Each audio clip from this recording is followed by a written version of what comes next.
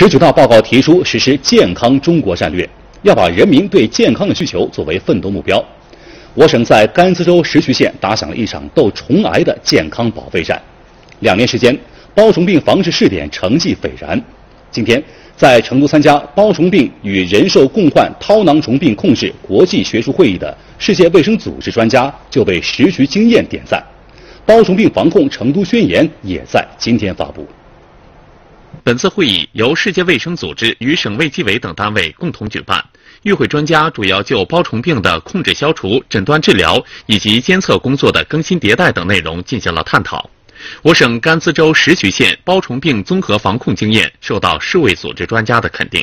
防治包虫病的一些不利影响和生活习惯呢，都通过科学普及和带有强制性的。呃，产的防管控应该说起到了非常大的一个作用。社区的经验是值得推广，而且特别是多部门合作，呃，来抗击这个这个包虫病的这个传播的话，这个做的是非常好的。我们希望把这个工作模式应用到其他的藏区。让与会专家点赞的包虫病防控实渠经验究竟有哪些实招？这要从两年前说起。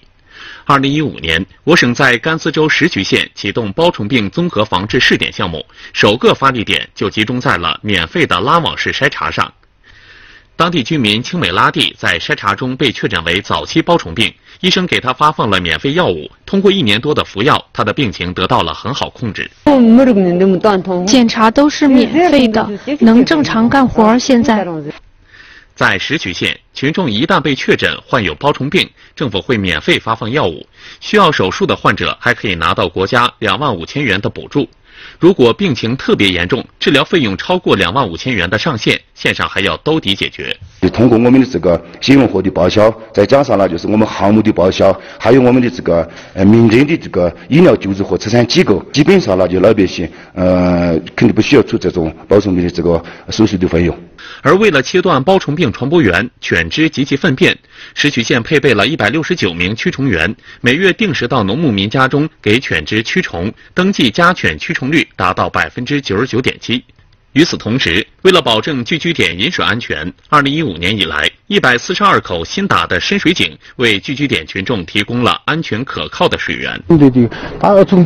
以前喝的都是河里的水，有寄生虫，现在喝水井里的水，特别方便，特别好。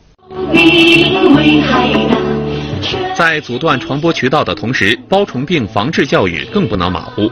全县在四十九所学校推广包虫病防治之歌，老师还要求孩子们把在学校学习到的包虫病防治知识带回家。妈妈说：“为什么要洗手？”我就说：“妈妈，洗手会除掉包虫病。”目前，石渠县包虫病防治知识总体知晓率由过去的百分之三十提高到百分之八十八，六至十二岁儿童新发现病人检出率仅为百分之零点二八，包虫病正从可怕的虫癌变得可防可控。在今天的会议上，由十三个国家专家学者共同签署的《包虫病防控成都宣言》也正式发布，将建立一个由学者、科学家、企业家和决策者共同参与的国际网络合作平台，加快包虫病的诊断、治疗和疫苗等领域的研究转化。Education is very important. Of course, it takes long time. 不光是中国的专家。